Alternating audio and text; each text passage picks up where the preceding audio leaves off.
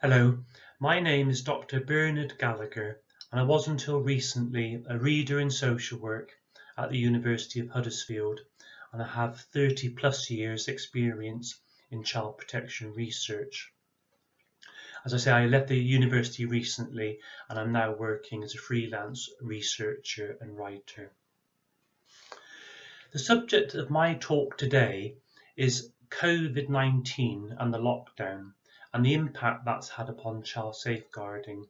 And in particular, I want to challenge the received wisdom around this issue, or what I see as groupthink.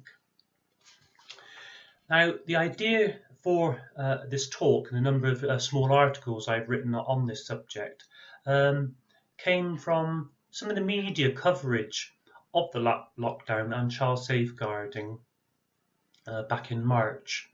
At that time, Anne Longfield, the Children's Commissioner for England, was being interviewed about uh, risks to children, and she said social workers should be knocking on doors, as if to imply they weren't knocking on doors, whereas in actual fact um, it's been established that social workers still going out visiting uh, families at risk.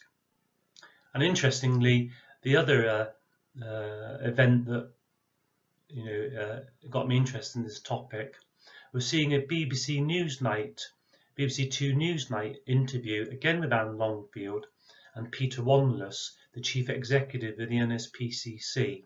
And again, they were talking about child safeguarding, but there was no social work representative uh, being interviewed, and, and, and social workers do have the uh, single largest responsibility for child protection in the United Kingdom. So I thought that was a bit odd that social workers weren't being involved. So anyway, these events got me thinking about how the media uh, and politicians and other stakeholders and indeed even the public how they're perceiving child safeguarding in the time of the, of the COVID-19 pandemic.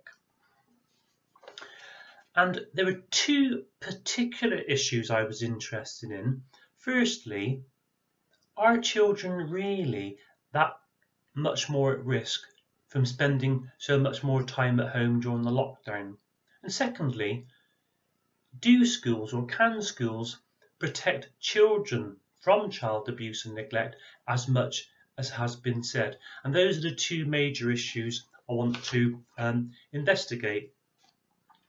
First of all, I'd like to say that there has been you know, a definite risk ch that um, children might experience more child abuse and neglect from being at home. In some ways, this could be uh, anticipated because if children spend more time at home with their parents, then, you know, all things being equal, uh, you know, the risks will increase. There's also spe specific reasons for thinking why the risk to children might have increased. Parents may, during the lockdown, have suffered unemployment. They may have financial may have financial worries.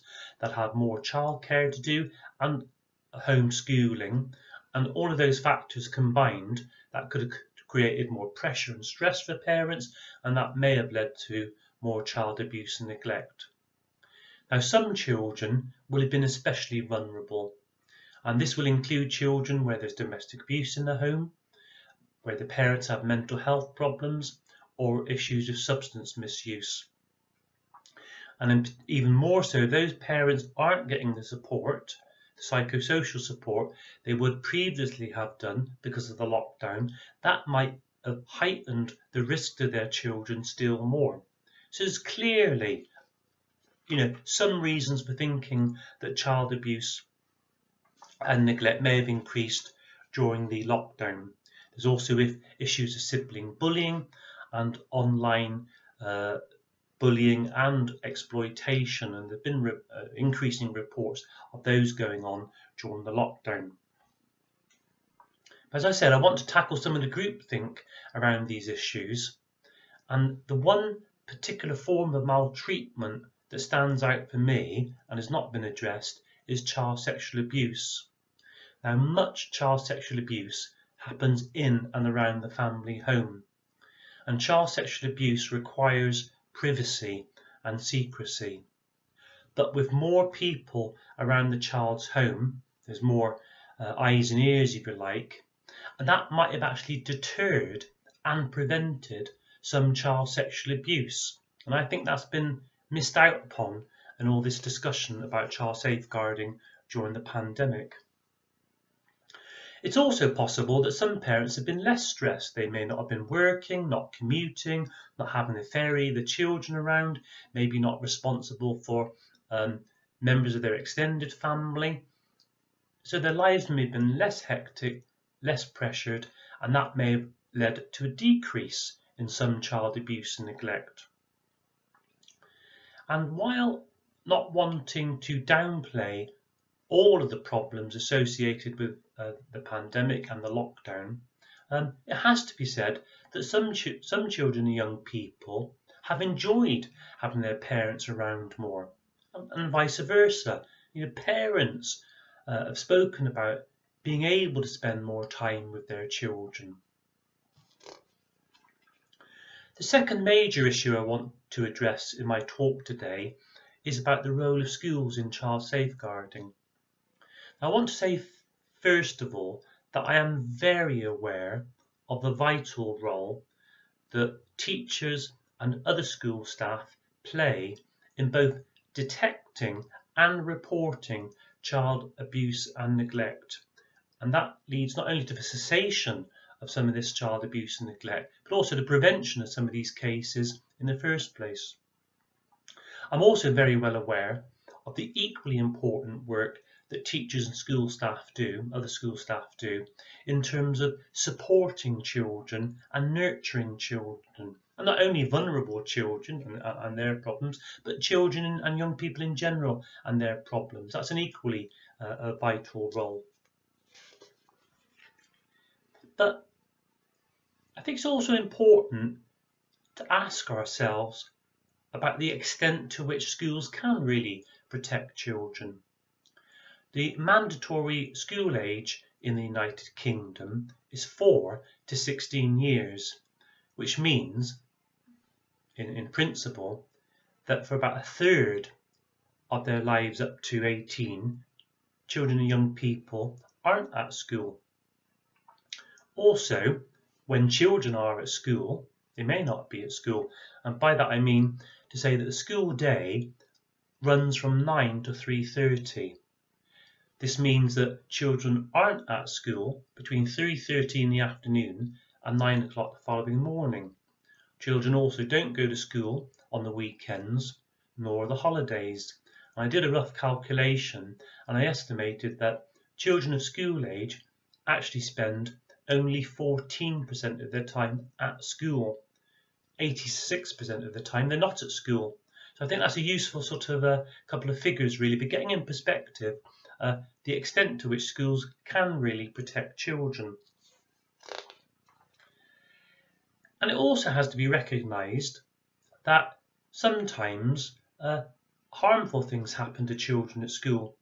The Crime Survey for England and Wales uh, did a survey amongst 11 to 15 year olds and they found that 17% of 11 to 15 year olds had been bullied and in a way that frightened or upset them in, in the past year.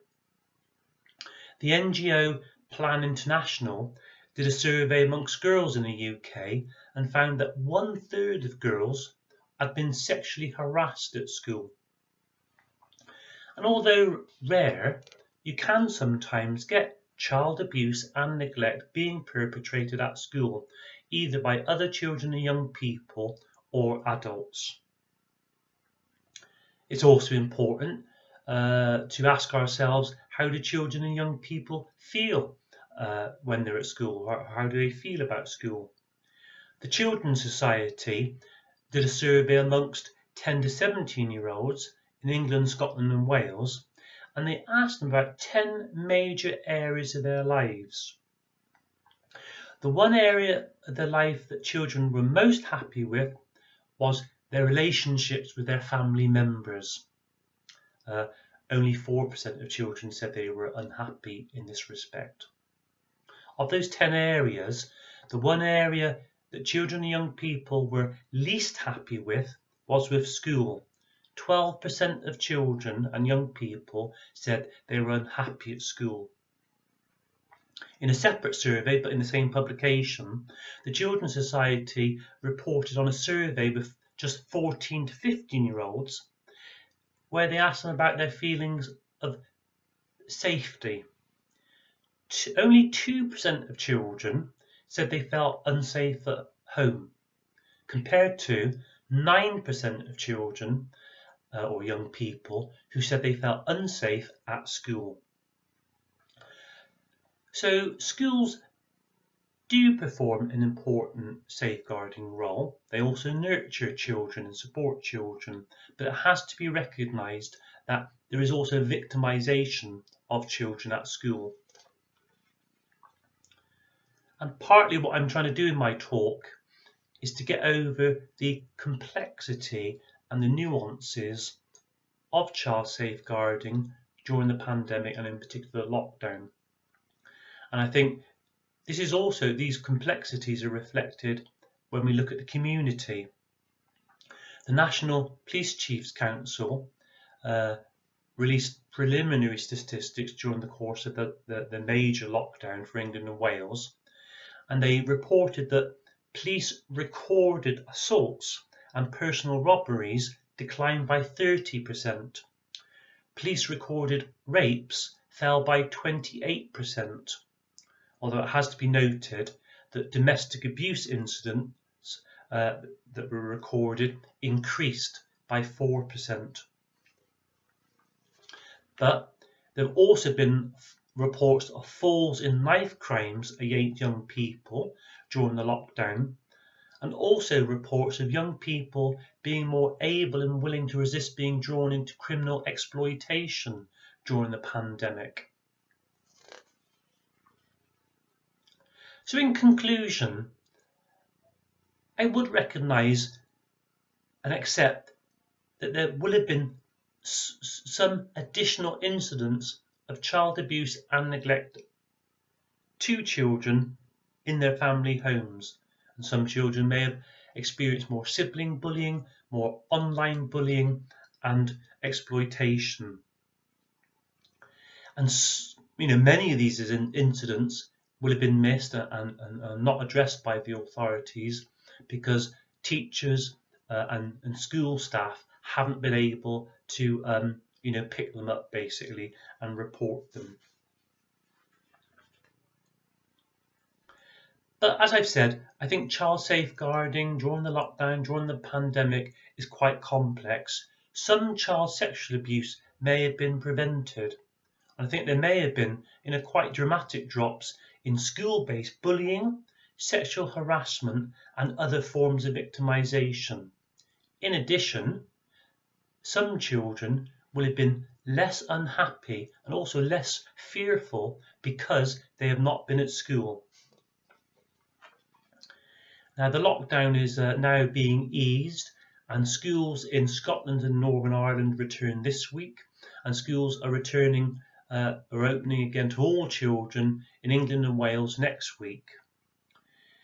That said, the future of the pandemic uh, is uncertain. We already have a number of local lockdowns across the United Kingdom, and even with some of the schools opening, I think particularly in Scotland, some children are being sent home to quarantine because of outbreaks of COVID. So it's very difficult to say what will happen with the pandemic going forward. But I would say, uh, I would acknowledge again that there have been costs because of the lockdown in terms of child safeguarding, but there's also been gains.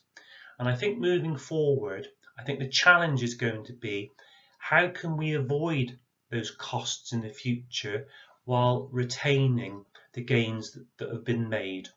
Thank you very much.